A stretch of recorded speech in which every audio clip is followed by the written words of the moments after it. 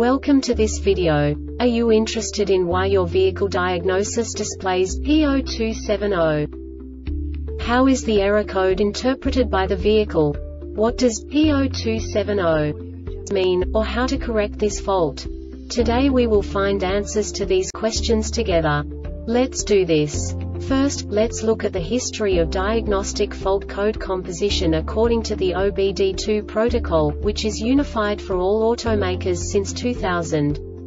We divide the electric system of automobile into the four basic units. Powertrain, body, chassis, network. This distribution is defined in the first character code. If the second character is expressed as zero, it is a standardized error. In the case of numbers 1, 2, 3 it is a more prestigious expression of the car-specific error. The third character specifies a subset of errors. The distribution shown is valid only for the standardized DTC code. Only the last two characters define the specific fault of the group.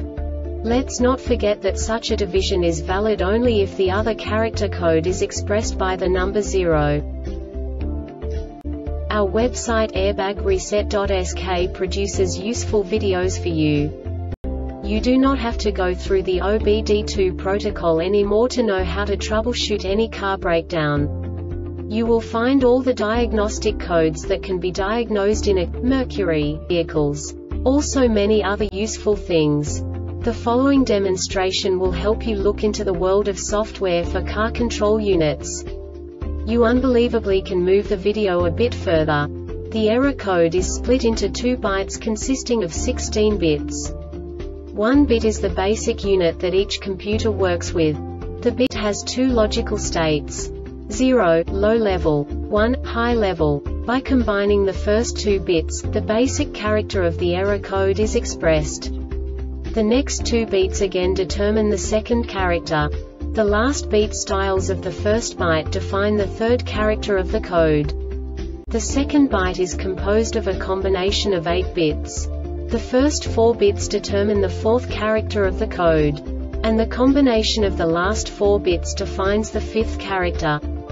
A single byte conceals 256 possible combinations. We now know in what way the diagnostic tool translates the received information into a more comprehensible format.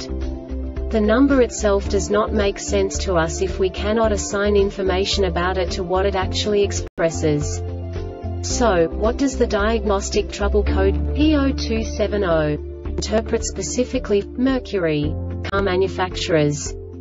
The basic definition is yaw side G sensor circuit. And now this is a short description of this DTC code. Sudden turns such as spin turns, acceleration turns, drifting, etc. When VDC function is off VDC off switch on may cause the yaw rate side G sensor system indicate a problem side G sensor is malfunctioning, or circuit of side G sensor is open or shorted. This diagnostic error occurs most often in these cases harness or connector ABS actuator and electric unit control unit yaw rate or side G sensor. The Airbag Reset website aims to provide information in 52 languages. Thank you for your attention and stay tuned for the next video.